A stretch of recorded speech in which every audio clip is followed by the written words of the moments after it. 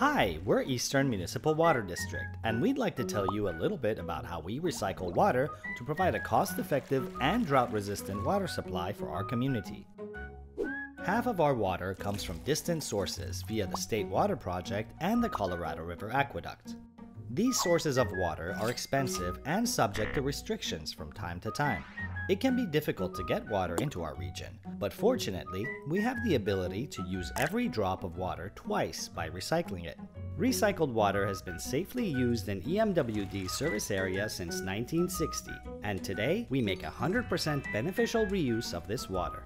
This water is highly treated to very stringent regulatory requirements and is beneficial for non-drinking uses. And to avoid confusion with the drinking water that's delivered to your home, we store this water separately and deliver it using a completely different purple pipe network.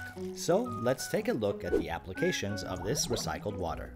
Today, more than 500 EMWD customers utilize recycled water for landscaping in schools, watering our parks, the irrigation of agricultural crops, water for environmental benefits, and industrial uses such as cooling towers and dust control.